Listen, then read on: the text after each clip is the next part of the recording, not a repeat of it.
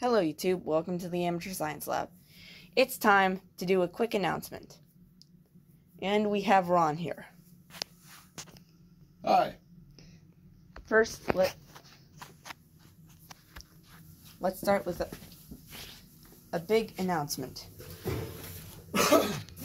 Ta-da! We got a 3D print, printer. Me and Ron got a 3D printer. And right here is a little 3D printed unaerodynamic nose cone for a small rocket that we just printed. We are also going to be releasing a time lapse of this build. The design of this is the CR10V2. This is not sponsored, by the way. Don't copyright strike me. Okay, and let's continue. Oh, and here's a, a cute little 3D print, printed dog that we, the first thing that we printed out. Anyways, here is the, here are our rockets.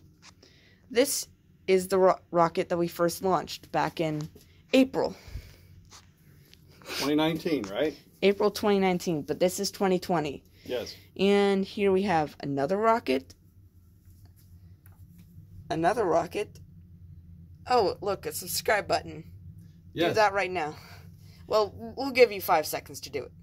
Starting now. Subscribed? Well, time to move on. And this is also a 3D printed rocket that we printed a while back and it already has an engine in it, so we're probably going to launch it soon. But first, we need to paint it. We have some paint for it. And, yeah, we have some rocket stuff and, in a parachute.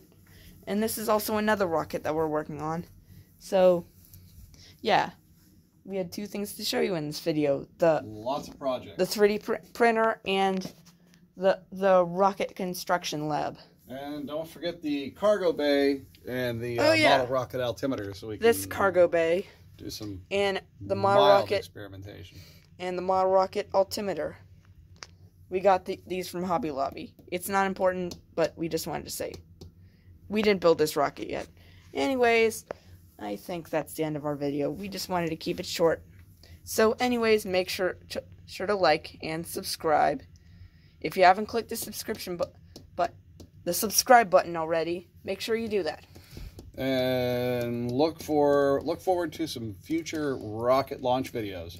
And right after watching this video, click the eye, eye icon in the right hand corner right now. So, yeah, go watch that if you haven't. Anyways, make sure I hope you liked the video and please don't take any any offense. Just saying. Okay. Bye guys.